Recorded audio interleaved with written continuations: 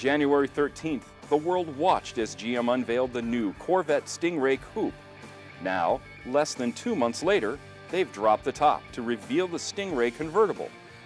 GM Design Director Tom Peters takes us around the latest version of the Stingray. Over the course of Corvette's history, the convertible has always been an integral part of the Corvette and Stingray statement. Probably more than all the Corvette programs I've been involved with, they've run concurrently right from day one. It wasn't like you designed the uh, sporty coupe first and it's like, oh my gosh, what are we gonna do for convertible? It's, it's, it's given a lot of thought, a lot of care, and a lot of study from day one. Underneath it, it's, it's meant to be uh, open air motoring or convertible. The structure is takes that into consideration, the proportions, you, you know, the shape of the windshield for sure, and then the balance of the car as well for performance dynamics. It has a very raked windshield. Is that the same rake as the coupe? Yes, same same uh, parts go into the windshield as the, the coupe. They're, they're shared. In appearance, however, when you look at it design-wise, having the top removed affects the proportion of the car, the overall profile. The top is powered. Uh, there's no more manual option. Did you radically change the look of the top for this car? From again, from a design standpoint and aesthetic standpoint, you want the vehicle to look outstanding when it's when it's stowed, but you also want to look make it look fantastic and well thought out mm -hmm. and beautiful when the top is up. We paid particular attention to uh, generally the profile because uh -huh. we wanted that to look beautiful and supportive or, or, an integrated element, as I mentioned earlier, of the overall profile of the vehicle, but even down to the stitching, the alignment, okay. the bows, all those play into an overall impression of not only an aesthetic statement, but also communication of, of uh, integrated quality. One thing I've noticed when we had the, the, top in place on the car here is you don't really see the bows that that's for the top structure. It's it's a very smooth surface on the outside. Was was that? A, oh, absolutely, absolutely. We pay a, a lot of attention working with the engineering on those bows.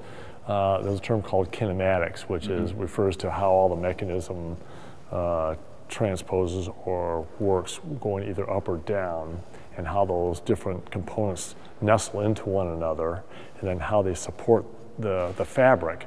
That's, that's all uh, incredibly complex. Right. But at the end of the day, when the customer looks at it, just as you, as you uh, perceived, it has to look great, um, yeah. no matter what the functionality is underneath. Another thing to notice a difference between the convertible and the coupe that we saw earlier, Tom, and you, you happen to be standing right by the rear wheel. That inlet vent that we spent a lot of time talking about for the coupe is not there.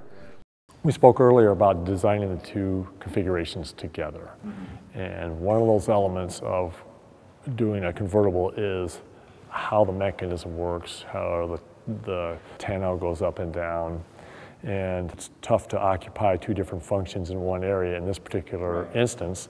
So taking that consideration when we did the two vehicles together, we optimized uh, another course to, to route the air up and then through the coolers in the rear.